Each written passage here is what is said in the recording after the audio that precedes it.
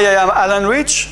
Welcome to TV Jesus Christ on the show Rooted in the Bible.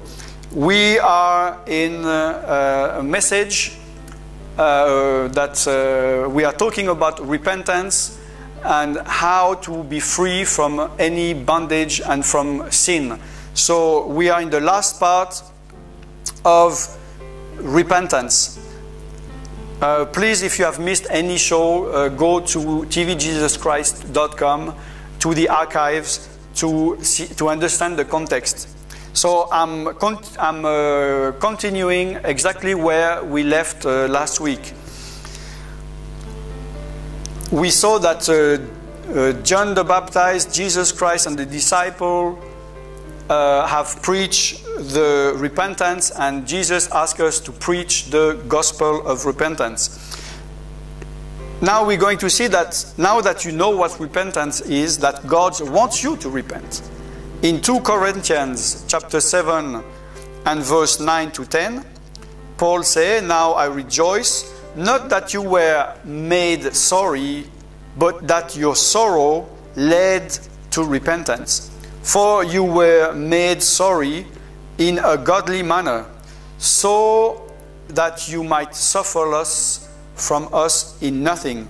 For godly sorrow produces repentance, leading to salvation, not to be regretted, but the sorrow of the world produced death. So you see that the sorrow in the process of repentance lead you to salvation, to be set free, to be saved from all the burden that you have, from all the bondage under uh, which you are. We, we, we see here that in repentance there must be sorrow. You, you must feel sorry.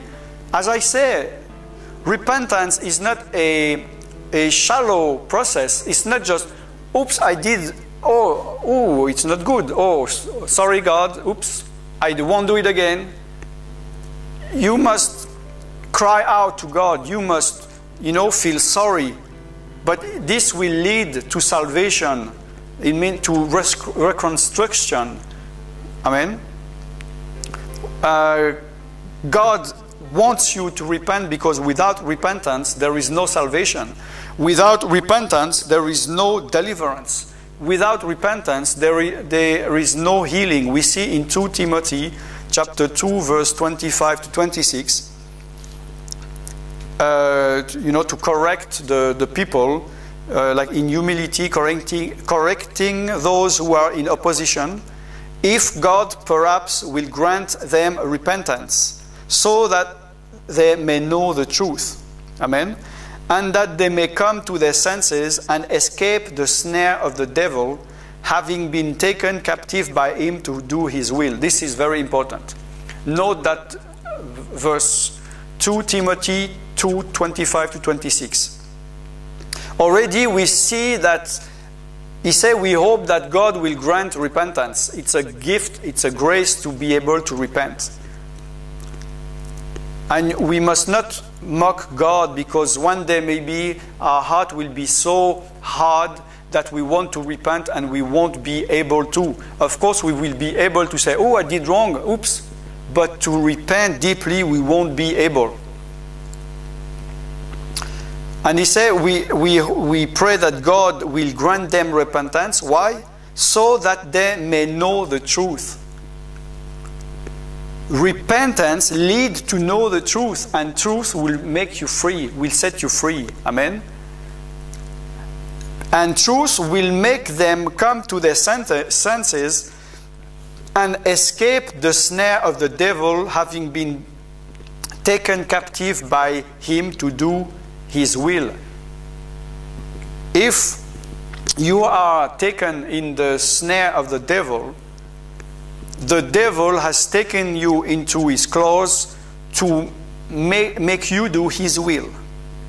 And you are slave of him, you know. And to get out, to escape from the, the, the snare of the devil, where you are captive, you have to know the truth, you have to get understanding and knowledge. And understanding of and knowledge is through repentance. That is why I spend so many weeks in, on this message talking about repentance. and maybe some of you you have skipped some uh, message or think, oh, he's talking too much. Why so so long about repentance? Because this is what will make you free, and this is what will lead you to know the truth and to escape from the snare of the devil and to stop being captive from the devil or from any sin. Amen. God wants you to repent in Romans chapter 2 verse 4. Do you despise the riches of God's goodness, forbearance and long suffering, not knowing that the goodness of God leads you to repentance? Amen. In uh, 2 Peter chapter 3 verse 9, the Lord is not slack concerning his promise, and some as some count slackness, but his long suffering toward you, not willing that any should perish, but that all should come to repentance. God wants us all to come to repentance. God wants you to come to repentance. Now that you know better about repentance, maybe in the beginning of the messages, if I would have asked you, have you repent? You, maybe you, you would have said yes, because you were thinking something about repentance. But now that you know what is repentance, I'm asking you again, have you repented from all your sins, from your past sins before you were converted and you came to Christ? But also since you were a Christian or now in your life, if, if you're under the bondage of a sin? God wants you to repent because in Luke 13 3, he say, I tell you, unless you repent, you will all likewise perish. And God does not want you to perish. God does not want you to live a, a life of sin or a life of bondage. And to be free from bondage, you need to repent.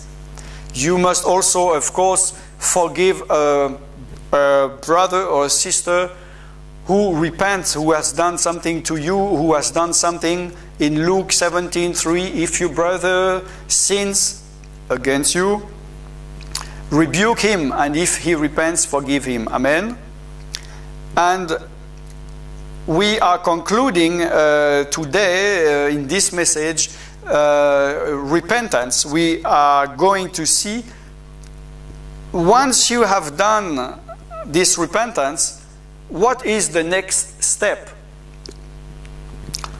The next step is that when you have repented, according to the Bible and according to the Word of God, you can receive the power of God, you can receive the Spirit of God, you can uh, receive something new in your life.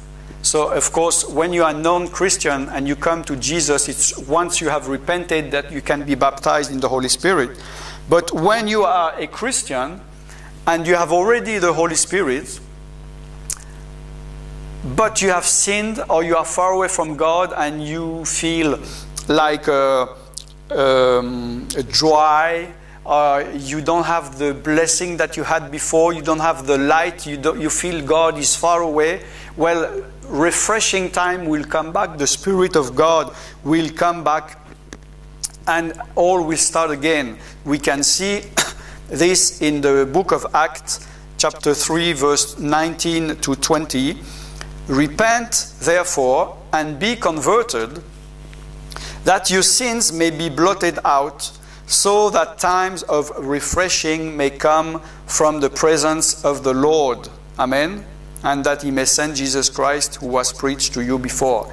If you repent, if you convert, because convert is turning your way, huh? you repent, that means I'm doing wrong, I'm doing that way.